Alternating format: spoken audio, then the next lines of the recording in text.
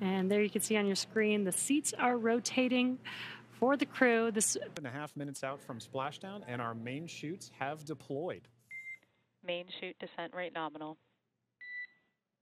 The ocean there. Dragon is about to touch down in just a few seconds here.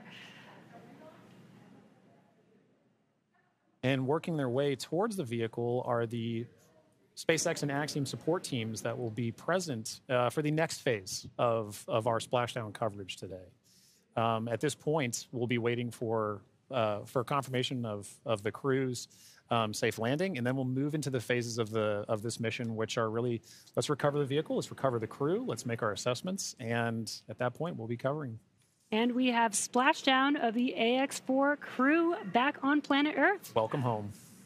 You can now see on the screen SpaceX support personnel uh, beginning the rigging procedures, pulling them onto uh, the recovery vessel here for, for the Dragon spacecraft. And you can see on your screen. Dragon copies. Dragon SpaceX. Cabin pressure must be equalized with the outside environment. Now, once the hatch is open,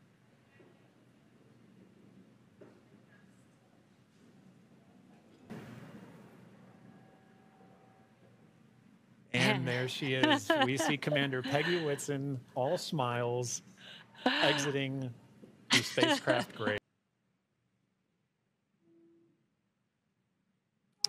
And we've got our pilot Shubhanshu Shukla as our second crew member exiting the spacecraft. And some big smiles, as you said.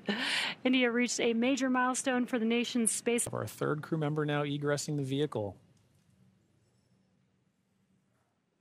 There is Sławosz Uznański Wiśniewski of Poland.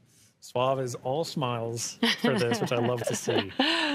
Now, Poland's participation in the AX4 mission through the Ignis program marked a pivotal step in the country's growing role in space exploration. Astronaut Sławosz Uznański Wiśniewski And last but not least, mission specialist Tibor Kapu.